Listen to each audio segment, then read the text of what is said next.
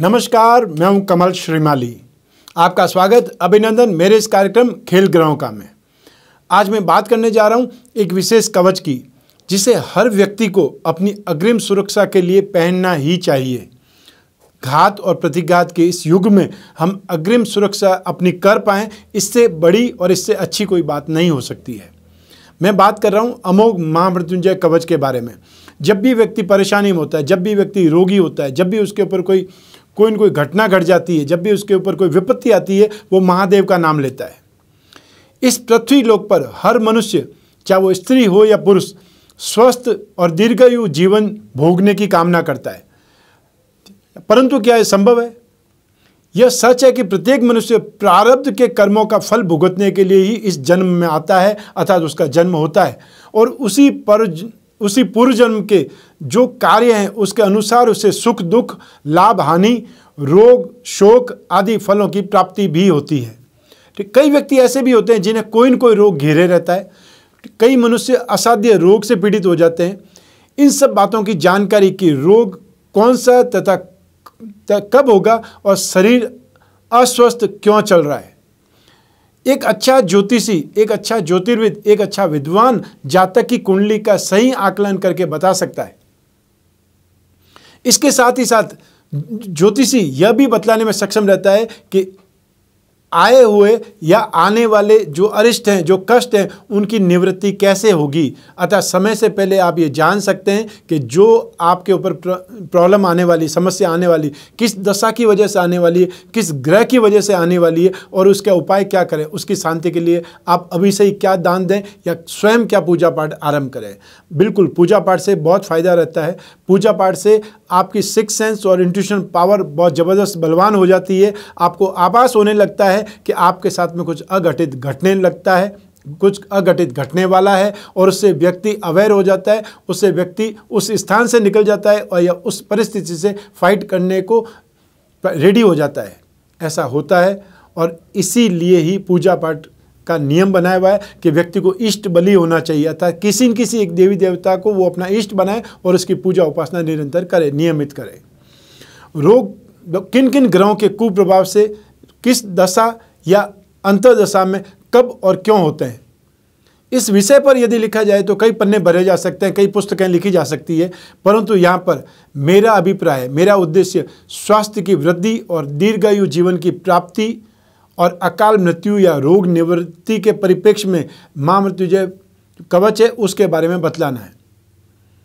जिन जातकों की जन्म पत्रिका में अर्थात जन्म कुंडली में असाध्य और भयानक रोग का होना, बालारिष्ट रोग अच्छा आठ वर्ष की आयु तक बच्चों को जो कष्ट होता है उसको बालारिष्ट बोलते हैं।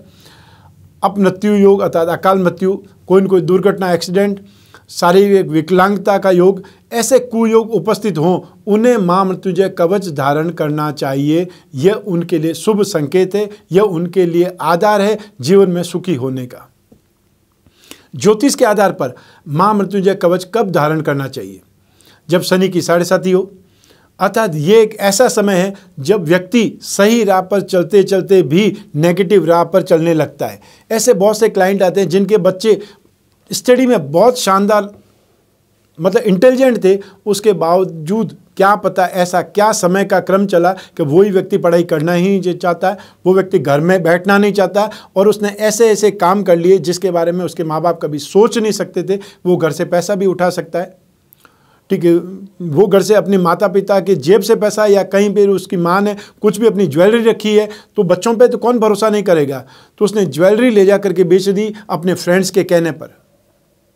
ऐसे ऐसे क्लाइंट्स हैं जिनके ऊपर शनि की साढ़े साथी आई तो उन्होंने अपने जीवन में सबसे खराब काम किए, जो एकदम इंटेलिजेंट बच्चे थे, जिनकी लोग तारीफ़ करते थे, उदाहरण देते थे, वही व्यक्ति जीवन में सबसे पीछे चलने लग गए। अर्थात क्लास में सबसे पीछे बैठ करके सब मस्ती करना, शरारतें करना, ये वाली आदत बना देता है कि शनि का काम ही यही है, जिस राह पे चलें, उसे विपरीत ले जाए। तो शनि की साढ़े साथी के समय भी आपको जिसको लगने वाली है शनि की साढ़े साथी उसको पहले ही पहन लेना चाहिए और जिसको शनि की साढ़े साथी चल रही है, उसको ज़रूर पहना, ज़रूर पहन के रखना चाहिए। और मेरी ये सलाह है और मैं हर किसी व्यक्ति को हमेशा सदैव माम तुझे मंत्र का जाप करने की और माम तुझे कवच धारण करने की सलाह ज़रूर देता हूँ। मार्केश अर्थात सप्तमेश या द्वितीय की दशा अंतदशा में आपको माँ मृत्युजय कवच ज़रूर धारण करना चाहिए। आपकी राशि से जन्म से चतुर्थ या छठी महादशा में, जैसे कि आपका सूर्य की महादशा में जन्म हुआ है तो सूर्य, चंद्रमा, मंगल और राहु, फोर्थ जो दशा आएगी, राहु की दशा आएगी। उसके बाद में सूर्य, चंद्रमा, मंगल, राहु, गुरु और शनि। तो जब छठी दशा शनि की दशा आएगी, उस समय भी आपको महामृत्युजय कवच धारण करना चाहिए। रोगेश की दशा में, अर्थात आपकी जन्म कुंडली में सिक्स हाउस है सिक्स हाउस की जब दशा चल रही हो या सप्तमेश की दशा चल रही हो ये द्वितीय की दशा चल रही हो, द्वादशेश की दशा चल रही हो और अष्टमेश की दशा चल रही हो। अर्थात बारह भाव में से छः पॉजिटिव है छः नेगेटिव है। जो छः नेगेटिव भाव, भाग है, उनकी जब जब भी अंतर्दशा आए, तब आपको माँ मृत्युजय कवच धारण करना चाहिए, माँ मृत्युजय की पूजा उपासना करनी चाहिए। जो कुछ भी आप शिव से संबंधित कर सकते हैं, उससे आपको शांति मिलेगी, राहत मिलेगा। सप्तमेश या अष्टमेश की माँ दशा में षष्टेश या द्वादशेश की अंतर्दशा हो, यह मारक कहला जाता है। यह यह दशा अंतर्दशा का जो क्रम है, वो कष्ट प्रदान है। ऐसी स्थिति में भी माँ मृत्युजय कवच धारण करना चाहिए। जब भी जन्म कुंडली में शनि और मंगल की अशुभ स्थिति हो, उस समय महामृत्युजय कवच धारण करना चाहिए। जन्म कुंडली में मंगल का दोष होने पर, अर्थात मंगली कुंडली होने पर, या ऐसे समय में मंगल की जब जब माँ दशा आ जाए तो उस स्थिति में माँ मृत्युजय कवच धारण करना चाहिए। जिन स्त्रियों की जन्म कुंडली में अष्टम भाव दूषित हो और सप्तमेश या सप्तम भाव कुर ग्रहों के नेगेटिव ग्रहों के इम्पैक्ट में हो तो वैधव्य योग का निवारण अर्थात विधवा ना हो जाए, इस योग का निवारण करने के लिए, पति के जीवन की दीर्घायु के लिए, पति के जीवन की रक्षा करने के लिए भी उनको माँ मृत्युजय कवच पहनने की सलाह दी जाती है। अष्टक वर्ग में जो ग्रह जिस राशि में शून्य या कम बिंदु पाते हैं अतः अष्टवर्ग एक एक ऐसा मेथड है जिसमें कोई भी ग्रह, जो ग्रह गोचर में चेंज होने वाला है, वो आपकी राशि, आपकी जन्म कुंड में कितनी स्ट्रेंथ लिए हुए है। यदि उसके स्ट्रेंथ सबसे कम है तो उसका फल आपको नेगेटिव मिलने लग जाएगा या सबसे कम फल मिलेगा सबसे कम फल मिल पाएगा।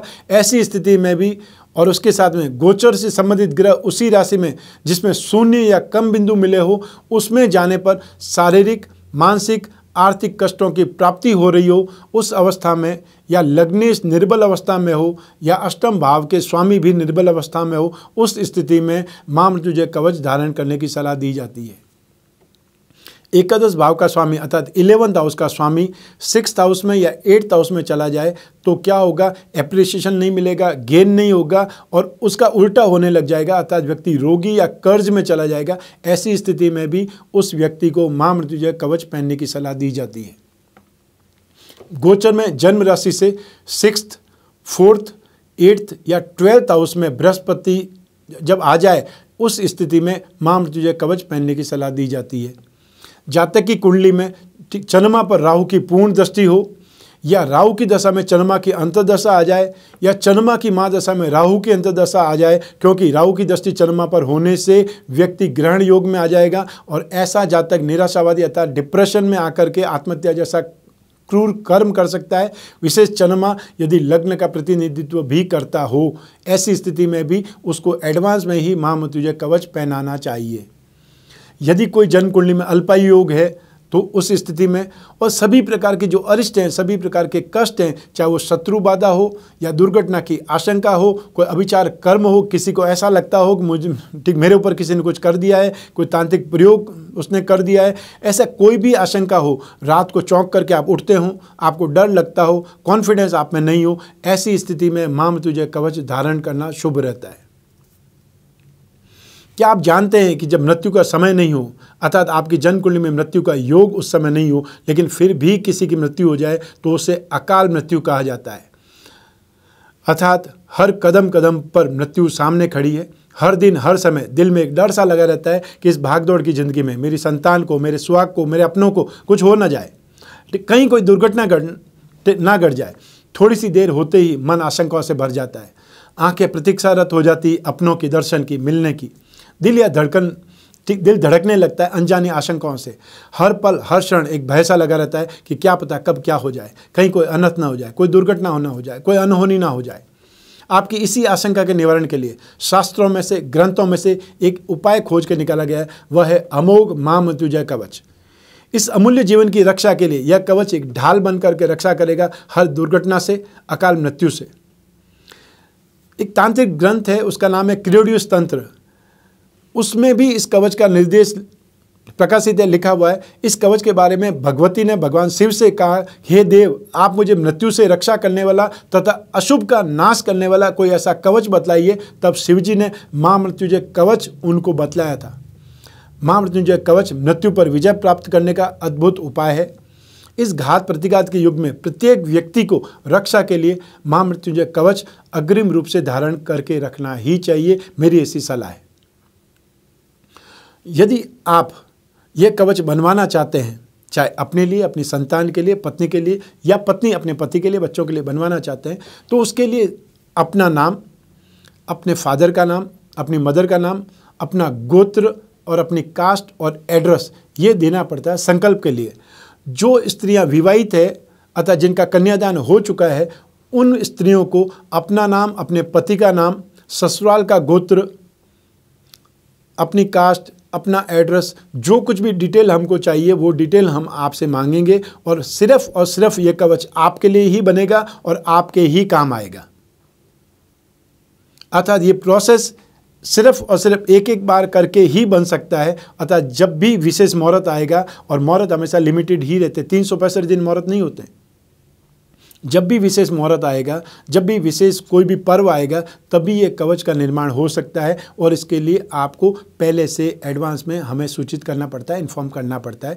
आपके घर बैठे ये कवच आप तक पहुँच सकते हैं, सिर्फ़ आपको प्रयास करना पड़ेगा हमको डिटेल देने का। ठीक, मेरी इच्छा है, मेरी धारणा है, मैं चाहता हूँ कि जो भी ये प्रोग्राम देख रहे हैं, जो भी मेरे दर्शक हैं, उनको कभी भी ऐसी स्थितियों का सामना नहीं करना पड़े। भगवान शिव उनकी हमेशा रक्षा करें, उनके सभी काम सफल हो जाएँ, उनके सभी प्रयास सफल हो, ऐसी शुभकामनाओं के साथ में आज बस इतना ही। कल फिर मिलेंगे कोई न कोई नए एपिसोड के साथ में। तब तक स्वस्थ रहिए, प्रसन्न रहिए, अपने और अपने घर में जो भी बड़े हैं, जो भी बुज़ुर्ग हैं, उनका ख्याल रखिए। आपको बहुत बहुत शुभकामनाएँ, नमस्कार।